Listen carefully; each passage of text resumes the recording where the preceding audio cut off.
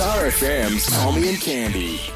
Recently, there's been reports of gates being stolen from across the GV. I mean, seriously, who steals gates? Ain't nobody got time for that. It's not on, and something needs to be done about this mindless crime. So we've come up with a new campaign to catch these gate thieves in their tracks. We took into consideration the gate's feelings The owner's frustration. What the hell's going on? and the poor cow who lost its front door. And we came up with Rack off, mate! That's my gate! So, it's now time to band together and spread the word. And let these gate thieves know Rack off, mate. That's my gate. Rack off, mate. That's my gate.